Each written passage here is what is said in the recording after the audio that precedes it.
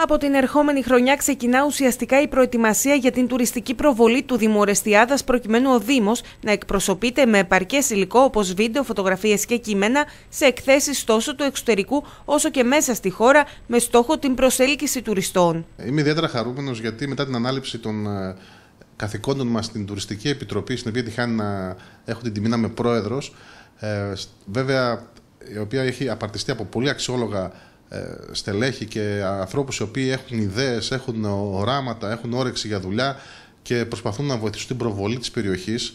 Συμμετέχοντα, βέβαια, πρέπει να σημειώσω και τριών έτσι λίγο πιο ξεχωριστών ανθρώπων από το καλλιτεχνικό χώρο του κυρίου Χαραλαμπή, του κυρίου Στάνκοκλου και της κυρίας Τσακύρη. Ε, όλα αυτά τα χρόνια, τα τελευταία δύο χρόνια, ε, βάλαμε κάτω ιδέες, συζητήσαμε τι ακριβώς θα πρέπει να γίνει για την προβολή του Δήμου και καταλήξαμε σε ένα συμπέρασμα. Η πικρή αλήθεια ήταν πως μέχρι τώρα ο Δήμος Οριστιάδος δεν είχε οτιδήποτε είχε ήταν σχετικό με τον τουρισμό. Δεν υπήρχε τίποτα. Ε, πλην κάποιων έτσι πυροτεχνημάτων προβολής του Δήμου, δεν υπήρχε μια οργανωμένη προσπάθεια.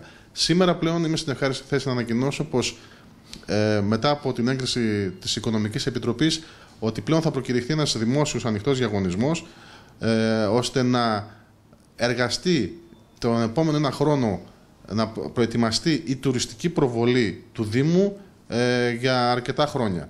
Η προσπάθεια θα είναι συντονισμένη προκειμένου το υλικό που θα μαζευτεί και θα επεξεργαστεί κατάλληλα από τους ειδικούς να αποτυπώνει τις ομορφιές περιοχής. Θα γίνουν φωτογραφίσεις, θα γίνουν κειμενογραφήσει, μεταφράσεις, θα δημιουργηθούν τουριστικοί οδηγοί, ε, σποτάκια, βίντεο, διαφημιστικές προβολές.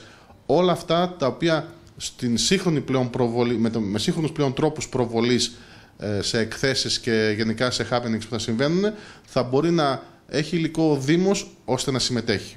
Τα βίντεο και τα κείμενα θα μεταφραστούν σε πέντε γλώσσες προκειμένου να γίνουν κατανοητά στους δυνητικούς επισκέπτες, τουρίστες από τις όμορες χώρες. Έχει γίνει μια πολύ σοβαρή δουλειά και από τους συνεργάτες εδώ του τμήματος προγραμματισμού.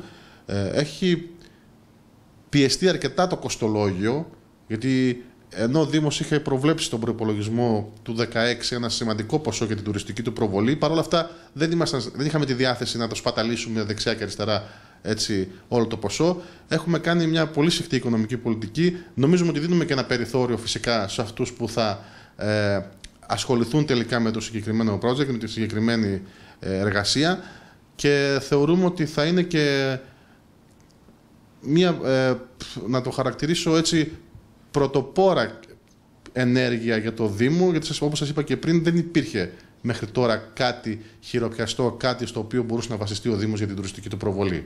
Είναι σημαντικό ότι όλα μας τα έντυπα, οι προβολές, τα ντοκιμαντέρ, τα βιντεάκια που θα ετοιμαστούν θα είναι πεντάγλωσσα.